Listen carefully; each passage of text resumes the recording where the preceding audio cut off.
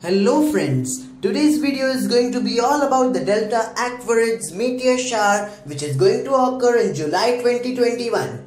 Make sure to watch this video till the end to know everything about this meteor shower including the dates, the best time to view it, etc. So first we'll see what are its dates and when will this meteor shower peak. So this long and rambling Delta Aquarid meteor shower presents meteors from about July 12 to August 23 each year. The nominal peak falls on on year 29 July.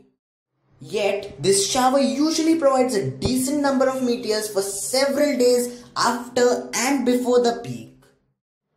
Unfortunately, in 2021, the bright waning gibbous moon will probably wash out a good number of these rather faint meteors. As we move into early August, a much fainter waning crescent moon will be less intrusive. But there is a good news. The good news is that the moon will wane throughout the first week of August 2021. So expect some Delta Aquarid meteors to intermix with the Perseid meteors. The Perseid meteor shower will gain strength until reaching a peak on or near August 12. I have also made a video about this Perseid meteor shower in which I've explained everything about it. So there is a link in the description and in the pinned comment to that video. You can go and watch it.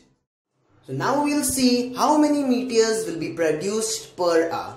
So what happens is this uh, delta aquarid shower favors the southern hemisphere though it is also visible from mid-northern latitudes. In years when the moon is out of the way, the broad maximum of this shower can be expected to produce 10 to 20 meteors per hour. So now we'll see when is the best time to view this meteor shower. So for this Delta Aquarids meteor shower, as for most meteor showers, the best viewing hours are after midnight and before dawn for all time zones around the world. So that's it for today's video. In case you want to know about the blue moon occurring on August 22 this year, click the video on the right of your screen. Thank you so much for watching this video till the end.